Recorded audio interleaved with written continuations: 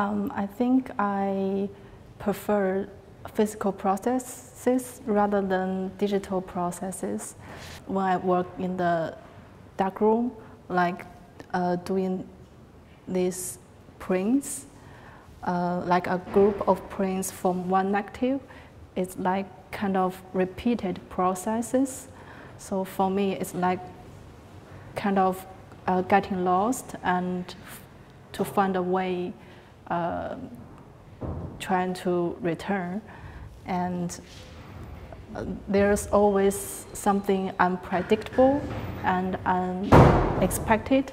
So for me, it's like a way to understand myself. So my work has like a lot to do with worlding and like create um, and space creation, um, and so for like the past few years I've been doing bits and bobs, and I kind of realised that's what fitted all the works together in a way. Um, this like sense of queer world building and different like non-linear planes and that sort of thing, and bright colours that are super saturate and these strange sounds. And I wanted all of this to be able to come together into a piece where you go in and you feel super immersed into that space and into that world.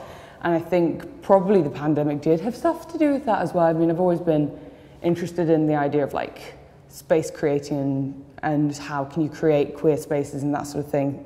But I think because in the pandemic we've been so trapped in similar spaces and that sort of thing, um, it's been really interesting and energizing to get to like create something that feels transportative and that kind of fabulative realm um, that's yeah super outside of I guess everyday reality as well. So my practice itself is based around uh, the topic of oppression uh, in Iran. Um, I'm a British Iranian immigrant, first generation um, immigrant, and I basically the whole point of my practice is to aestheticize oppression, to make the topic of oppression a more appealing conversational topic to enter and be involved into. Um, I feel this almost overwhelming responsibility as a British Iranian, someone that's like in in the setting of England. I'm I'm not censored. I'm I'm I'm free. I can say whatever I want. This artwork is about my country um, and their implementation of the the lash or the whip uh, as punishment by law. So this document here um, expresses or presents all of the laws that you get lashed for uh, in Iran. It's a direct copy um, taken from the official one. There's even a, uh, a, QR code where you can find the source and go through it yourself.